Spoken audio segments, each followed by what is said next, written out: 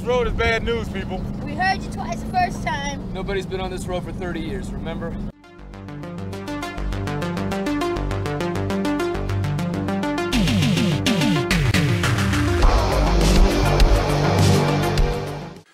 Hi, this is the Professional Amateur Hour coming to you with another review.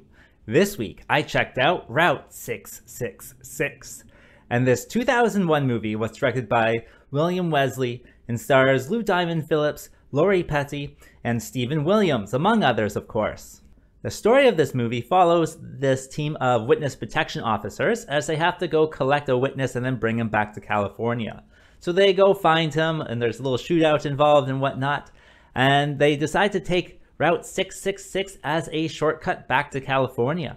However, there are some ghosts on Route 666 that haunt the highway.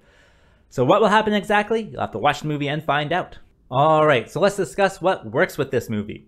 Well, I actually enjoyed it quite a bit. I thought it was really fun. I thought the story was pretty fun.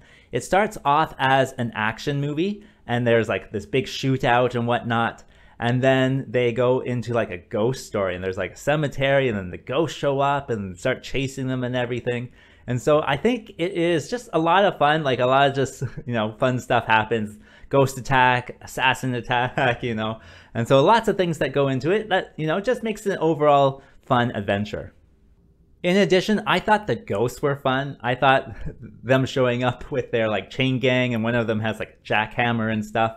I thought that was lots of fun, just seeing them around uh, chasing these guys.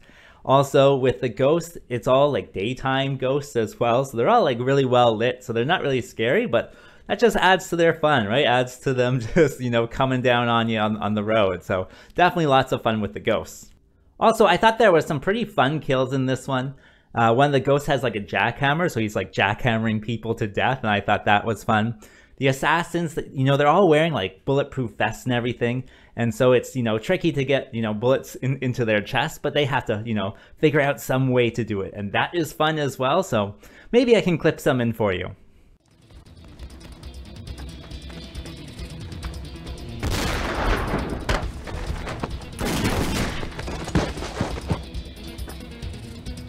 And that brings me to what doesn't work with this film. Well, every time you see the ghosts, they are in daylight, so you know they're not scary. But then it has this other thing where like anytime the ghosts are around the characters, the the film starts to get like chopped up in like this strange manner. It's kind of like David Lynchian, I would say. Like they definitely like take out frames and then double other frames and whatnot, and it's just very distracting when, when it's when it's on screen. So maybe I can clip some in for you.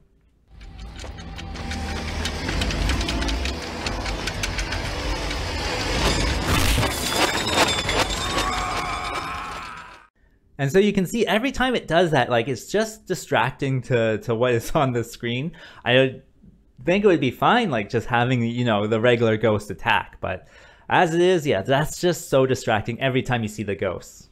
Also, there are some plot twists that are very obvious once certain details come out. Like you'll be able to guess them within like 10 seconds of certain details being exposed to you. In addition, there's some like background characters I didn't really care for. I thought they were just kind of like poorly written, but you know, there's just some things on the periphery that, you know, can take away from the movie, but I thought in general, you know, it was pretty fun. So it is what it is, I guess. So who would I recommend this movie for? Well, I think if you're just looking for a fun ghost story, yeah, sure, turn this one on. It's it's definitely like of its time, or I guess not of its time. It's like a 2001 movie, but it's like very 90s. And so, yeah, just a fun ghost story with some action. So, if that seems like it would be something you like, yeah, find it, turn it on. Why not? As for rating, I gotta give it the halfway decent score of 5. And having said that, I think that's all I wanted to say. So, like and subscribe, and I'll see you next time.